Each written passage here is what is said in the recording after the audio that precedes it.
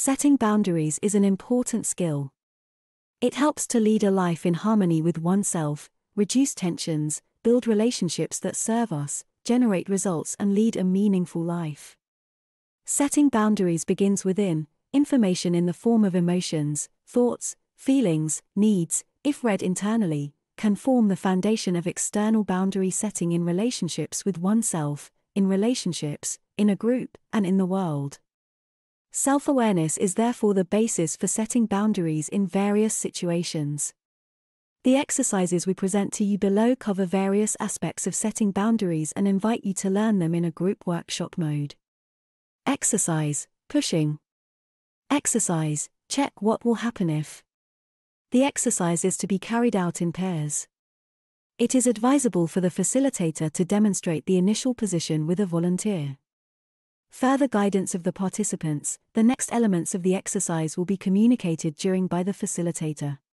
People stand opposite each other in pairs, they agree who is person A and who is person B, they raise their hands to the height of their face and mutually lean their palms on the palms standing opposite each other. They touch each other with their palms. Person A's task is to press on person B's palms. Person B's task is to react in accordance with themselves, respond with pressure, retreat, resist, change their reaction depending on how they perceive the situation. Then there is a change of roles in the pair, person B is the pressing one. Next, invite the group to analyze, look at what was happening. Explore the reaction to pressure in most resistance, which caused more pressure. Explore those relationships in which there was no resistance, the pressure crossed the boundary of the pressed. Explore the situation in which both sides pressed more and neither gave way, conflict. Look at the emotions and thoughts that appeared during this task. Notice the reactions you wanted to take but gave up for some reasons. Variant B Return to the exercise and now let the person being pressed say clearly but calmly enough, putting only minimal resistance, what will be the reaction of the presser? Observe this. Variant C. Do another such experiment, that the person being pressed without warning withdraws all their resistance by violently moving their hands and moving aside.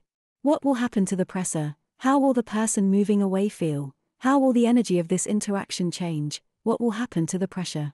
Draw conclusions about the optimal way of influencing the pressed person in this exercise. How to set a boundary to pressure, whether pressure breeds pressure, whether giving up the field is also signaling a boundary. Notice what happens to the pressing person when you stop resisting fighting and when she loses support in your resistance, what caused the pressure to disappear. Notice how your life will change if you start setting boundaries instead of running away or getting into conflict.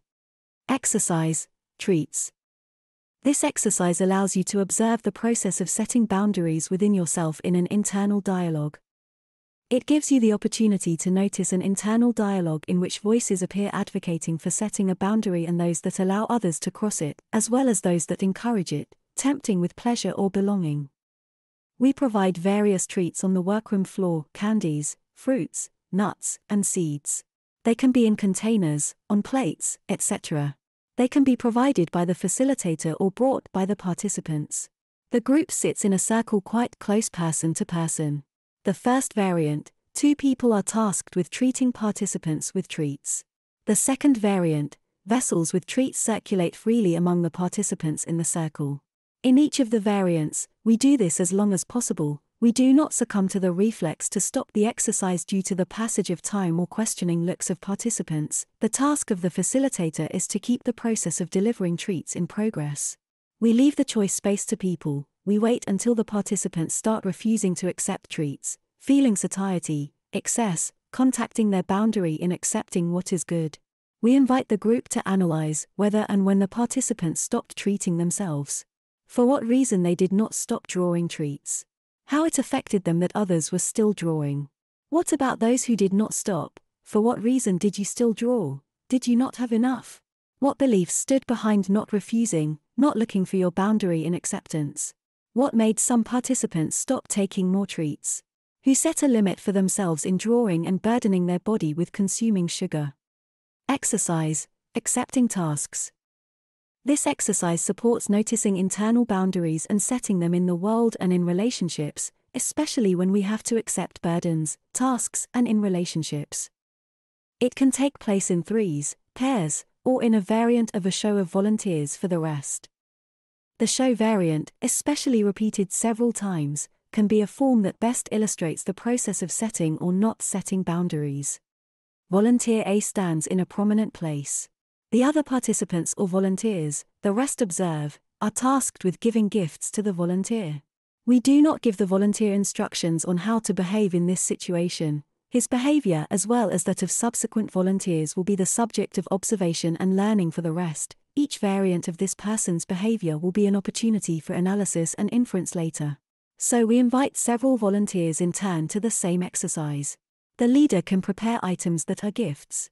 These can be any items like books, folders, writing utensils, pots plates, brooms, garbage bags, etc. Whatever we find in the workspace. If these are sensitive items, they are particularly useful for the task, but they should be protected from destruction. A special variant of gift items are balloons after inflating. You can make symbolic inscriptions on them such as time, pleasure, rest, coffee, sweets, friendship, housing, money, car, conversation, holidays, work, etc. Balloons are safe, their shape and softness allow for many to be accepted and easily show excess. Similarly, boxes can work, but their edges and weight can make it difficult to accept more. The donors should try at all costs to give their items, when the volunteers already have their hands, arms, etc. occupied, they should try to arrange the gifts on them in a different way, attach with a string, etc. As long as the volunteer does not refuse to accept the gift, you can also arrange them on the feet, attached to clothes, etc. However, the leader should not reveal this part, but only be ready for it and support if the participants start acting this way volunteers will probably try to accept them and agree to cross boundaries, and this process is a space for analysis and learning. Questions What made you accept gifts? How did you accept them? When did you realize that you already have too much? How much more did you accept than you could? What internal signals of too much did you skip? How should you formulate information about your boundary? What conclusions from this? How will your life change when you set boundaries earlier? How much can you actually take on? How much will you accept? Is this something constant or can it change? Exercise, proximity and distance. The exercise shows the process of setting boundaries, regulating the distance at which we stay with different people in the group, and the level of current skills in this area. The volunteer sits in a chosen place in the room and surrounds himself arbitrarily with a rope as a sign of his boundaries. He can add some special markings, e.g., drawings on pieces of paper around his space, e.g., a drawing of a dog, a door, a key, at his discretion. The rest of the people in the group form a line standing shoulder to shoulder so that the volunteer in his space can simply sit in the circle of the rope marking his boundaries and see each of the remaining people at a similar distance from himself. The volunteer invites the next people closer to him by name, one by one. He directs each of them towards him using instructions like closer, further, stop, approach, leave, that's enough, at a pace suitable for him, the volunteer can change his mind, bring others closer and further away from him, put them next to and behind him if he wants, it's his choice. He can also not invite someone at all, or closer than at the beginning of the exercise. If the size of the group allows, it would be good if he carried out this action with everyone. He can also only with selected people. Pay special attention to observing yourself and your feelings, this is the main clue for the volunteer and the approaching person. Any internal discomfort is a sign that the person has come too close. It's about recognizing in yourself this readiness for contact or the need to set a boundary. The volunteer can say that he feels better or worse with this closeness before he decides that the person can approach closer or further. He can also verbalize emotions, feelings, and thoughts related to the approach of this person. The approaching person can also decide how close they want to approach and reveal this to the inviting person, the approaching person can refuse to carry out the instructions of the inviting person, they cannot refuse to accept the volunteer's boundary. After a series of such experiences, the group sits in a circle and analyzes the process of setting boundaries. How did you feel when people approached you? Was inviting and distancing people easy?